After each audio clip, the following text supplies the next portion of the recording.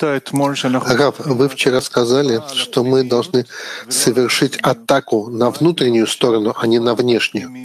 Что такое атака на внутреннюю сторону? То, что мы хотим соединить наши желания в такую форму и с такой силой, чтобы в них, во всех, в правильной связи, в правильном соединении между ними раскрылся бы Творец. Свет раскрывается, как наше отношение между нами будет уже в такой форме, с такой силой, что будет подобно свету. Это форма наших желаний.